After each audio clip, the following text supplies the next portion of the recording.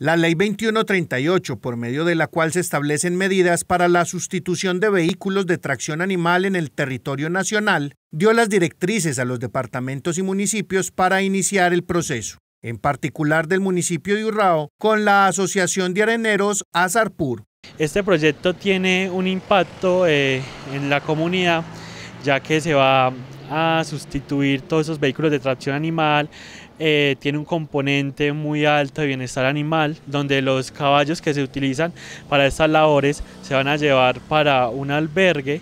donde se les hará como todo un proceso de recuperación para después ya entrar en un proceso de adopción. Eh, cada uno de los beneficiarios de este proyecto se les va a dar un motocarguero o unidad productiva, ya esto depende de cada uno de los beneficiarios que, que lo que ellos eh, necesitan o quieren.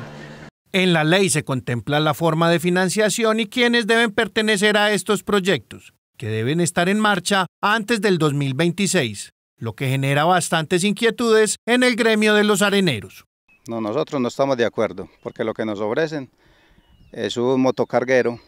del igual ustedes pueden ver que no ingresa al río, entonces no podemos sacar el material de donde sacan los caballos. Ese nos servía como tal para transportarlo de aquí a la calle.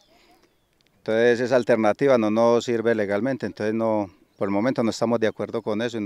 Sin duda un proyecto bastante espinoso que genera muchas incertidumbres en los usuarios de vehículos de tracción animal, pero que deberá entrar en funcionamiento en los próximos cinco años, además de pensar también en el bienestar animal.